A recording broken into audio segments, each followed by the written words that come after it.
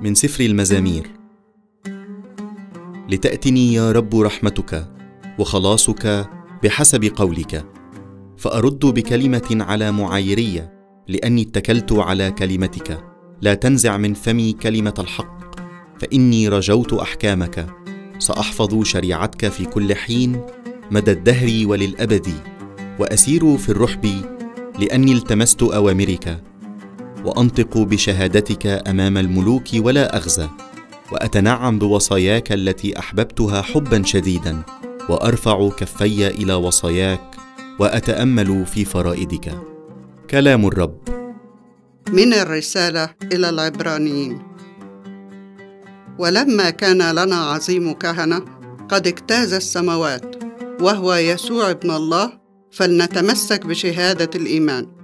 فليس لنا عظيم كهنة لا يستطيع أن يرسي لضعفنا لقد امتحنا في كل شيء مثلنا ما عدا الخطية فلنتقدم إلى عرش النعمة لننال رحمة ونلقى حظوة ليأتينا الغوث في حينه.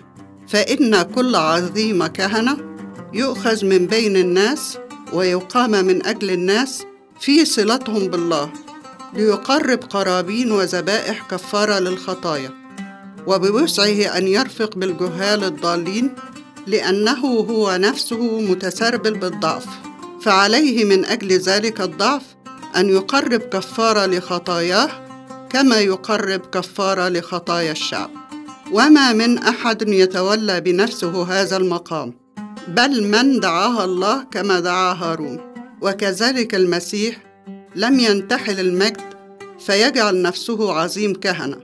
بل تلقى هذا المجد من الذي قال له أنت ابني وأنا اليوم ولدتك. كلام الرب. من إنجيل القديس متى.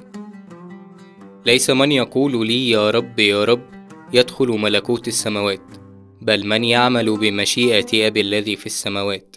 فسوف يقول لي كثيرون من الناس في ذلك اليوم يا رب يا رب أما باسمك تنبأنا وباسمك طردنا الشياطين وباسمك أتينا بالمعجزات الكثيرة فأقول لهم علانية ما عرفتكم قط؟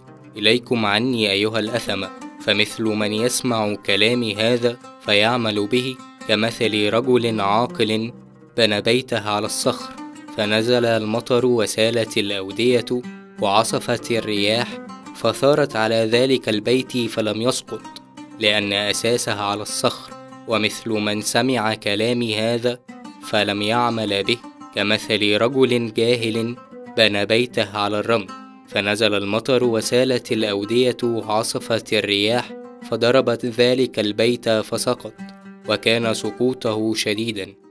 كلام الرب.